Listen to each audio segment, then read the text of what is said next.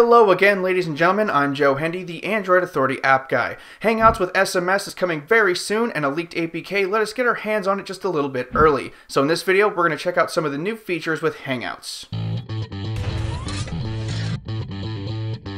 Okay, most people know the main features of Hangouts at this point, so we won't waste your time by going over the old stuff. The first thing you'll notice upon opening the new Hangouts is the immediate option to turn on SMS. You can either do it right then and there, or you can do it later in the settings. Once SMS is enabled, all your feeds will load, including existing SMS messages if you have any. Many people have reported that they can't tell which feed they're using, and those people are silly. There are giant SMS symbols in the pictures when it's an SMS conversation, and speech bubbles in the chat will say it as well. It's really not that hard. You can turn SMS off and on in the settings. It's really very simple for such an important new feature. Next up, we'll talk about GIF support. You can send GIFs to other users, which only adds to the experience of using Hangouts. We have a leaked copy, so our GIF sends had a few minor glitches, but these are expected to be ironed out when it's actually released.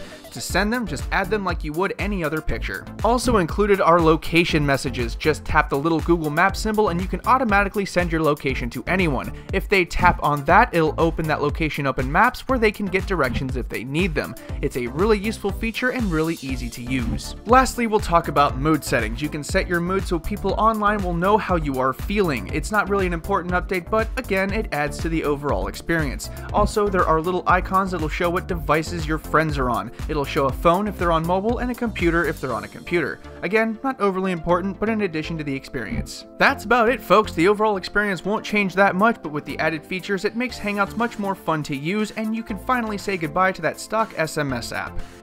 Once again, I'm Joe Hindy, the Android Authority app guy. Feel free to subscribe to our YouTube channel, and if you like this video, check out some of our other ones. You can find the written companion to this video, written by Chris Smith, in the video description, along with our social media links. Thank you for watching, and have a wonderful day.